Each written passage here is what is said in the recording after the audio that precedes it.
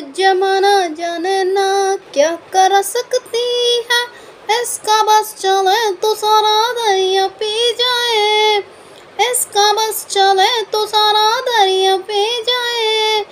ए खुदा तू बोल दे तेरे चाहनों को। मेरा यार हंस रहा है, बारिश की जाए, बारिश की जाए। बारिश तो हो रही है फिर चाहे वो थोड़ी हो रही है या ज़्यादा हो रही है। अब भाई मेरा यार हंस रहा है, बारिश की जाए। अब जिसका यार हंस रहा है, उसके यहाँ बारिश हो रही है। और जिसका यार नहीं हंस रहा है, उसके यहाँ गर्मी हो रही है, वो जल रही है। चलिए, ये तो बातें होती ही रहती हैं। भाई अगर हम आपसे बात करें कि ईद के मौके पर हर कोई सितारा जो है, हटकर जो है सेलिब्रेट करना चाहता है। फिर चाहे वो जैसे भी हो।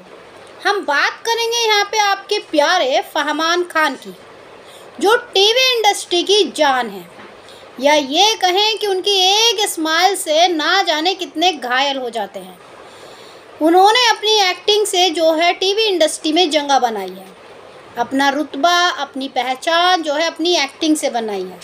पीछे से कोई बनी बनाई नहीं मिली है। वो सितारा हर प्रॉब्लम को फेस कर सकता है जो अपने आप स्ट्रगल कर कर आगे बढ़ा। हम बात करेंगे उनकी कुछ पर्सनल लाइफ की, क्योंकि कल ईद थी। ऐसे में सबको उम्मीद थी कि भाई शायद जो है सुम्बुल और फैमान दोनों ही एक साथ सेलिब्रेट करेंगे, जो उनके चाहने वाले फैंस हैं।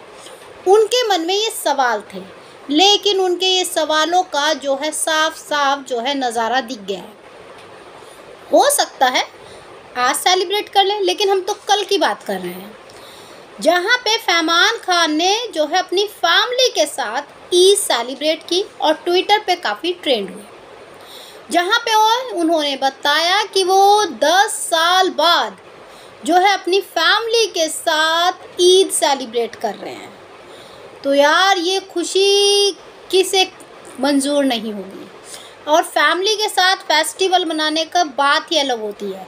जब वो फैमिली काम बताती है ना, ये काम नहीं हुआ, ये काम नहीं हुआ, ये काम नहीं हुआ, ये करो, वो करो, ये करो, वो करो। यही तो होता है फेस्टिवल। और फिर जो है, फैमिली बैठकर बातें करती है, फिर चाहे किसी की चुगली करे, किसी की तारीफ़ करे या अपनी बातें करे, उसे ही कहते हैं फैमिली में मिलकर फेस्टिवल करना। भाई, वैसे तो स्टूडेंट लाइफ होती है, या अपनी एक जॉब होती है, या अपना एक प्रोफेशनल वर्क होता है, जिसकी वजह से आप फैमिली को टाइम नहीं दे पाते हैं, या फैमिली के साथ आप सेलिब्रेट नहीं कर पाते हैं।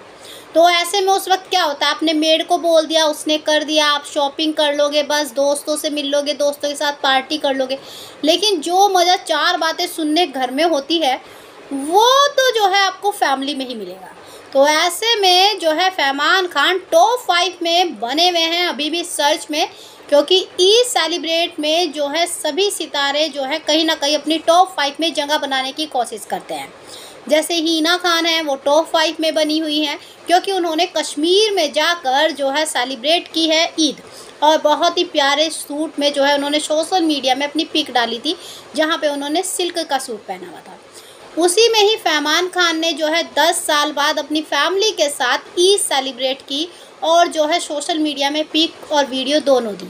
तो वो भी टॉप फाइव में जो है बने हुए हैं। ऐसे बहुत से सितारे हैं जो टॉप फाइव में बने हुए हैं और ऐसे बहुत से सितारे हैं जो टॉप फाइव में जगह नहीं बना पाए हैं। तो अगर आप जानना चाहते हैं, कमेंट करके ज़रूर बताइए। बाकी जानकारी के लिए डियर, लाइक, सब्सक्राइब दोनों बनता है।